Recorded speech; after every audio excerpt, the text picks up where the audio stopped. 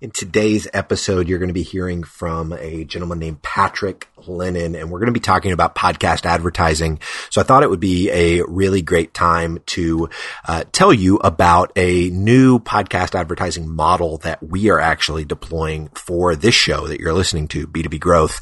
Uh, we have started partnering with B2B brands and instead of doing the traditional kind of 15 second or 30 second ad spot or even the mid roll ad, uh, we're partnering with sponsors and actually building entire episodes around the success stories of our sponsors customers. And so uh, we recently partnered with Bound, uh, bound360.com, and we've done three, uh, we'll be doing three interviews with their customers. And so uh, it's it's been a really effective model. I feel like it adds value to the listener to hear real success stories from customers that are using, you know, the litany of, of MarTech solutions that are on the market today, but it also helps the sponsor by allowing their customer to do their marketing for them. And so if you are a, you represent a B2B brand, looking to uh, dip your toe in podcast advertising, uh, we would love to chat with you uh, to see if there's some synergy there and possibly feature your customers' stories on this show on B2B growth. Uh, we're getting just a, right around 50,000 downloads every month.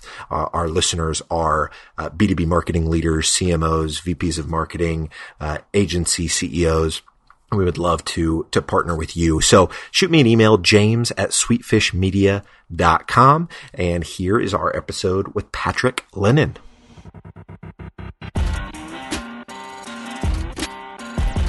You're listening to the B2B Growth Show, a podcast dedicated to helping B2B executives achieve explosive growth.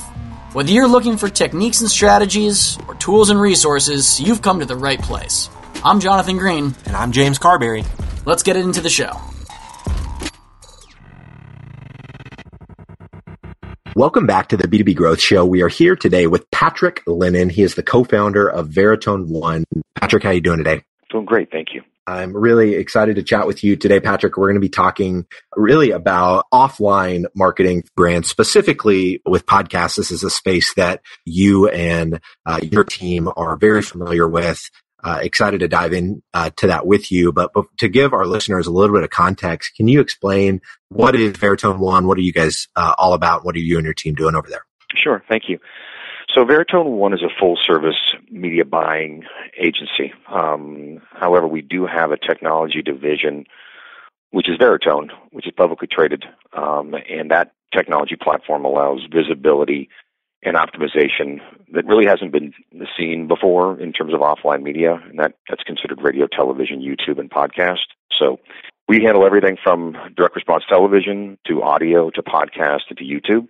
And we do it for some of the biggest e-commerce brands out there, many of which your listeners use every day, like Uber or WordPress on websites or LinkedIn when you're you know using LinkedIn. So we we use a you know a plethora of different media types, and um, and we scale campaigns to a to an effective CPA. I love it. So Patrick, in in diving more into that, we're going to talk specifically about podcasting and some of the results that you guys are seeing at a high level there. When it comes to the media buying for for podcasting, what have you found to be the the variables that really make for a successful you know podcasting campaign from an advertising perspective? Good question. I mean, podcasting is sort of a, a phenomenon because there's no limit in sight in terms of how much content can be put into the universe. So new content is coming out every day. We manage between 400 and 600 shows a week, podcast integrations. And what we do is we target, we first take internal research. So we check all the boxes of all the internal research, you know, items that we have from Podtrac to all the different, you know, research tools to make sure that we're talking to the right demographic, we're talking to the right consumer, whether it's B2B, B2C, et cetera, et cetera. Then once we do that, we take internal research, and internal research tells us we spend tens of millions of dollars on podcasts, and we understand sort of what works, what doesn't work to a CPA, to a demographic. So sometimes a show might look wonderful on paper, an NPR show, let's say, on podcasting, but we know based on creative restrictions, based on what NPR will, will allow you to do, um, whether it's a pre-roll ad, a mid-roll ad, or a post-roll ad, all those things come into play in terms of driving an effective CPA for, for campaigns. We're seeing a lot of growth, a lot of success with B2B, and have you know, been doing this now with LegalZoom for 15 years in radio, now moving them into more podcasts just because the, the space is so fruitful for kind of efficient CPAs. I, I, love it. We've we've started bringing on more sponsors, uh, specifically a lot of martech companies, uh, because our audience is made up of B two B marketers, and so uh, this is this is a area that I'm very interested in. As far as the measurement, you, you said that you know they're performing really well. What are some of the metrics that you guys are using to measure success of a B two B brand's podcast advertising campaign? Sure. So every every client we have has different success metrics, KPIs call them. So whether it's a CPA to a new install to whether it's a free trial, it just it really depends on what that client's metrics are.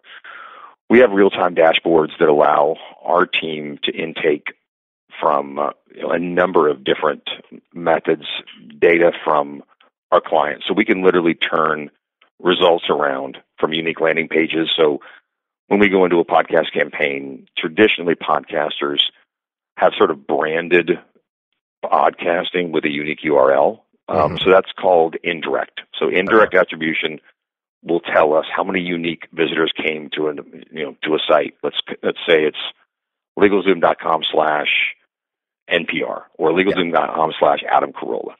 Well, then we know based on the traffic that's coming into that unique URL what our cost per uniques are, what our conversions. We can follow that consumer all the way through the funnel. We can see what lifetime value looks like. We can see what average order value looks like. Then we capture the indirect on the website. So the main site of you know LegalZoom.com, we might have a different method of capture there, whether it's a survey, whether there's a lot of different ways we capture within either pre or post survey.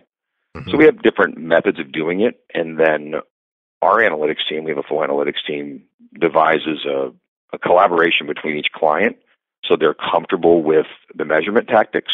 And then we optimize on a day to day basis, on a week week basis, and then we, we cut those shows that aren't working and we add the shows that are working. I love it. I love it. Can you speak, Patrick, a little bit to of the creative element of mm-hmm. what makes a podcast ad uh, from your experience? What makes it successful? So creative creative speaks to each host, right? And a mistake oftentimes is taking one creative and dispersing it amongst, you know, 15, 20, 30, 40 hosts and saying, okay, each influencer speaks the same way.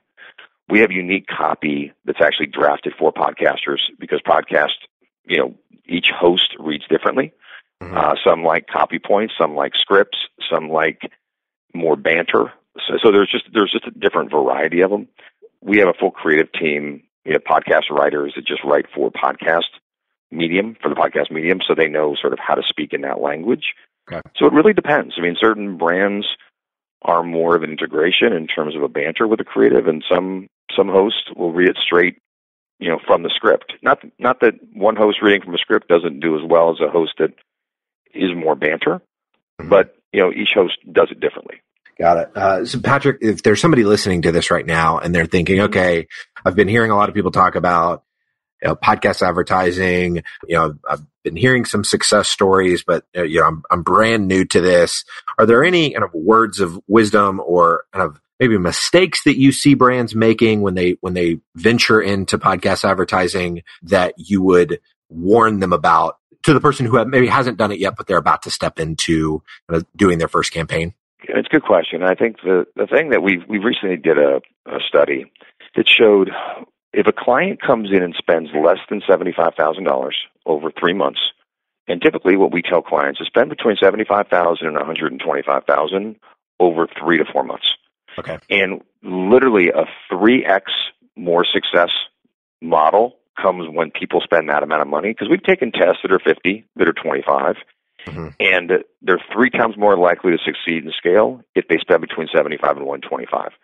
So the goal here is not from an agency standpoint to get more budget because any agency that has the right depth behind it is upside down on a test. They lose money. Mm-hmm. So between manpower, between negotiations, everything that we do, so it's really to not get a false negative on the channel because you need to have enough inventory out there and enough shows out there to optimize and to get enough of a read because shows are, you know, they take a while to work sometimes.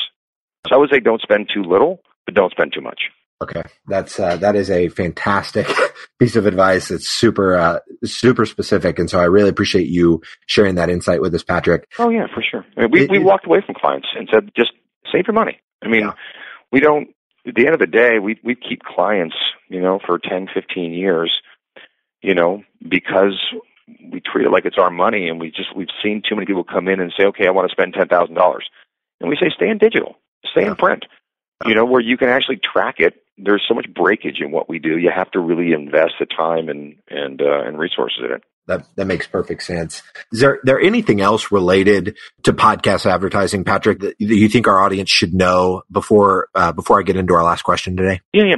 I would just say that podcasting is changing a bit in dynamically inserted ads versus embedded. So the way podcasts first started was embedded ads would live within a show for perpetuity. So hypothetically, let's say, you know, Alec Baldwin on Here's the Thing, which is an NPR podcast, five years ago, if that show was running, that ad that he read, that he interviewed Michael Douglas, let's say, would stay forever. Your ad would stay in there. Okay. Nowadays, what they're doing, the bigger shows are doing it already. About 40% of shows are doing it. It's dynamically inserted, so you're buying impressions. Mm-hmm. So basically, the ad's still read by an Alec Baldwin, let's say, but what happens is as soon as you get your agreed upon number of impressions, your ad is removed and a new ad is put in. So be aware of dynamically inserted. Be aware of uh, embedded versus dynamically inserted. We like to have embedded because embedded works better because it has a longer shelf life and you get drag. Okay.